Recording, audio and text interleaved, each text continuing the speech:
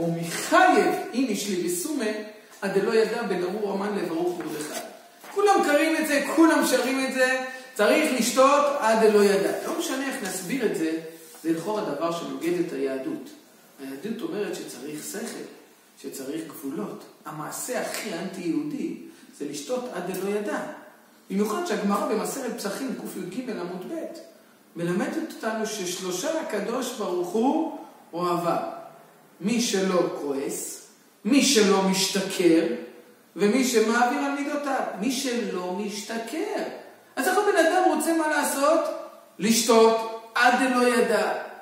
במיוחד שהגמרא באותו מקום מספרת על רבא ששחטה לרבי זרע, שחט את רבי זרע.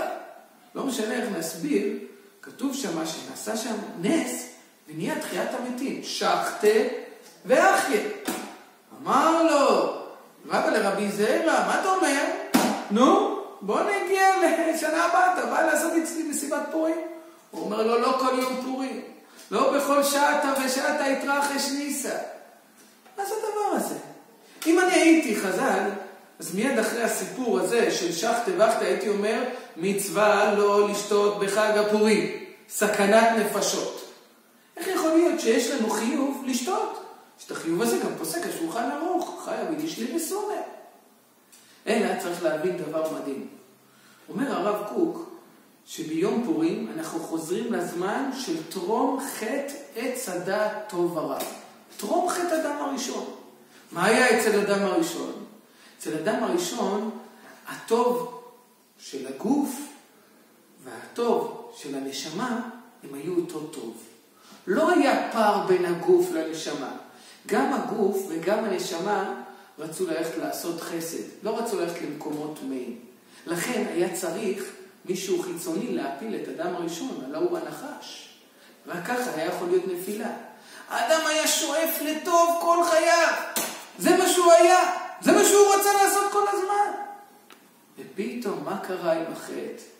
חטא הדעת, שאכילה מעץ הדעת טוב הרע. דעת זה מלשון חיבור. הטוב והרע משמשים בערבוביה. בוא ניתן לדוגמה בן אדם היום שעולה וקורא בתורה. כאשר הוא קורא בתורה, אז כולם אומרים לו אחר כך, יישר כוח, חזק וברוך. מה קורה אחר כך? מיד מד הגדלומטר, כן, של התאוות, של המידות, של היצרים, פשוט המד הזה עולה, אומר, בואנה, איזה תותח אני, איזה קריאה הייתה לי, חבל על הזמן, הבאתי אותה. תמיד בכל מעשה טוב של קריאה בתורה מעורבב רע. מאיפה זה מגיע? מעץ הדעת טוב ורע. אבל ביום פורים צריך לדעת שאנחנו חוזרים למצב שלפני החטא, למצב שגם הגוף הישראלי הוא רוצה את הטוב. לכן אין מקום לשכל, לא צריך את השכל כשוטר. אני לא מדבר על השתכרות, אני מדבר על התבשמות. אבל לא צריך את השוטר שקוראים לו שכל. למה? כי גם הגוף הוא קדוש, לכן צריך עד אלו ידע להוריד את הדעת. למה יש מוות בעולם? מוות קיים בעולם כדי שהגוף ילך למוסך א', קבר. הנשמה תלך למוסך ב', לעולם הבא. ואז אחרי שהם יעברו את התיקון, יהיה לנו חיבור בתחיית המתים של גוף ונשמה ביחד מתוקנים. אבל בפורים זה החג שהכי מזכיר את הלעתיד לבוא. לא צריך מוות, למה? כי הגוף והנשמה מתוקנים. הם רוצים לעשות את רצון השם יתברך. לכן, אנחנו בחג הזה הכי מגיעים למצב העתידי של בילה המוות לנצח. לא צריך את המוות, כי הגוף והנשמה הולכים ביחד. איזה חג גדול, איזה חג אדיר. לכן בא להתפלל, מה שאומר תלמידו חברו של הרב קוק, הרב חחלק, בספרו מי מרום, אומר שכל השנה כולה היא הכנה לחג פורים. איך אפשר להבין את זה? כן.